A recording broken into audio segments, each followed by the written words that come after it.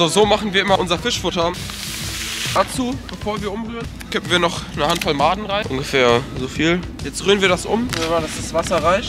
Ich hole noch eine Schaufel Wasser. Ich fülle jetzt noch eine Schaufel Wasser auf, weil das äh, Futter, wenn das zu trocken ist, dann kann man keinen Ball draus machen. Deswegen braucht es die perfekte Konsistenz. Würden wir das auch gut anfüttern. Es darf auch nicht matschig werden, weil dann kann man es nicht mehr formen. Wenn ich einmal drücke, bleibt es eine Kugel. Wenn ich äh, ins Wasser werfe, dann löst sich das so auf.